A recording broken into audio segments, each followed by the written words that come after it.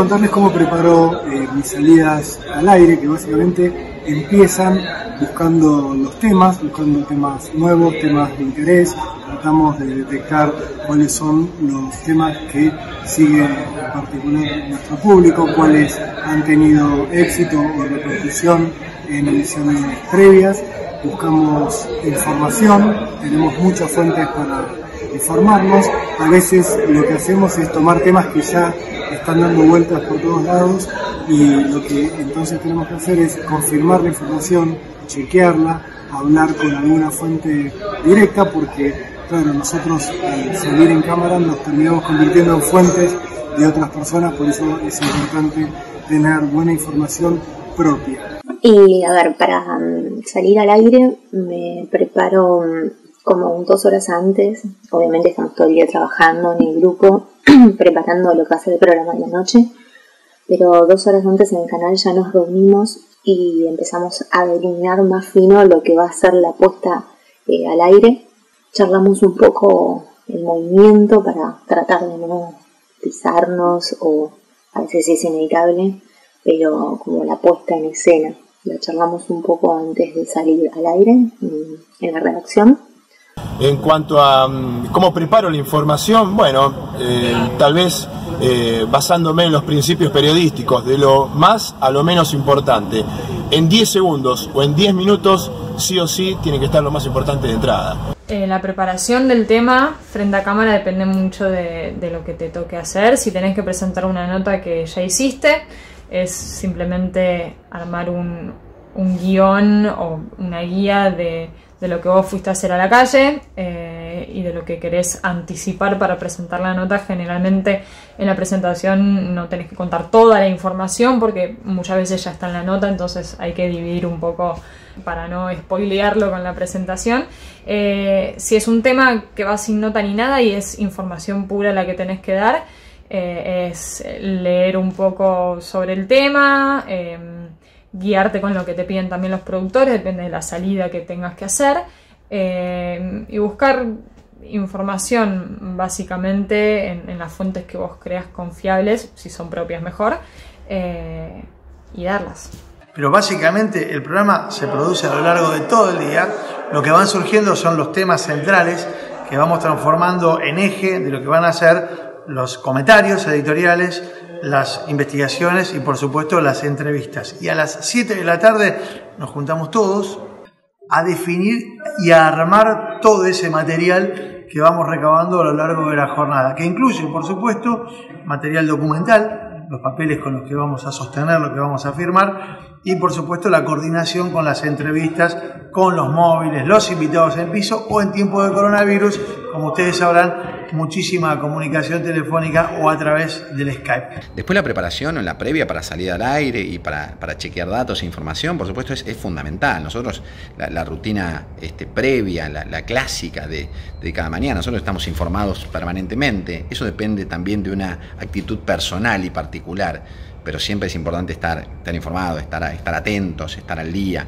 Y después la rutina previa, vos este, durante las horas previas hablás con tu equipo de producción y ya se va armando un organigrama y ya en la cabeza sabés cuáles son los temas que vas a abordar. Y ya después, en los minutos, hay una reunión de producción, los minutos previos, ahí ya se conversan los temas finos, con qué empieza, un poco más la puesta, la puesta al aire del noticiero, dónde estás parado, quién va primero, quién va después, quién arranca, qué temas, qué noticias. Y aparte, bueno, un poco el enfoque que se le quiere dar, eso también es importante.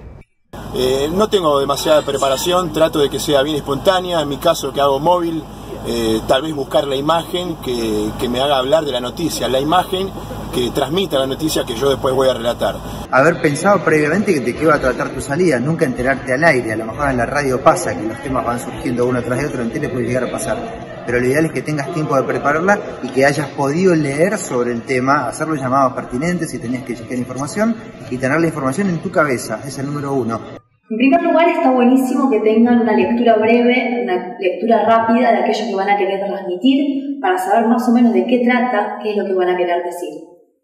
Yo puntualmente, aparte de la rutina que la tengo impresa y a mano, al aire, junto con el celular, eh, me hago en una hojita como un punteo de algunas cuestiones que, mm, algunos títulos que quiero sacar o de algunas preguntas que no me quiero olvidar.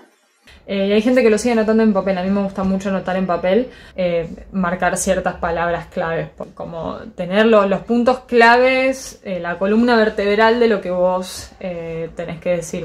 En la preparación o en la previa sí hay ciertas rutinas rutinas que pasan por los cuidados, ¿no? Esto es televisión y, tenemos que, tener eh, esos cuidados, eh, la, cuestión de maquillaje, la cuestión del vestuario, la, peluquería, eh, implica un tiempo eso, así que no, no, no podemos llegar muy, muy sobre la hora, eso es un tiempo que siempre, del cual siempre tenemos que disponer. Es televisión, así que número uno, fijarte qué ropa tenés puesta, si estás afeitado o no, y en lo posible estar maquillado. En lo posible te diría que casi siempre. Puede parecer superfluo, pero es televisión. En segundo lugar, una postura frente a cámara. Está bueno estar bien parado y estar bien dirigido a aquellos que están del otro lado de la cámara, escuchando y viéndonos, esperando el mensaje que les queremos transmitir. Si estás parado y no te sentís muy, muy cómodo con esa posición, asentate en, la posición en la, en la que estás, sentite seguro, no estés encorvado, ponete derecho eh, o derecha por otra parte, el tema de las manos. Está bueno no mostrar tensión, nervios en las manos, no cruzarlas, no apretarlas. Tratar de que las manos acompañen el mensaje, llevar un mensaje armonioso a los televidentes.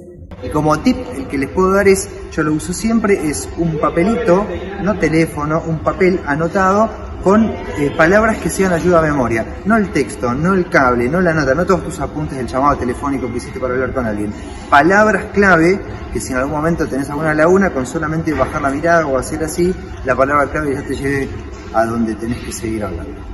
Después de eso, este, ciertos tips bueno, los tips es, tratar de, relajarse y estar lo más tranquilo, lo más relajado en cámara este, posible y siempre tener, eh, por lo menos en, las manos, eh, algún objeto, ¿no? Este, puedes tener una virome, que está bueno, no el teléfono en general, puedes tener una tablet, que es importante también.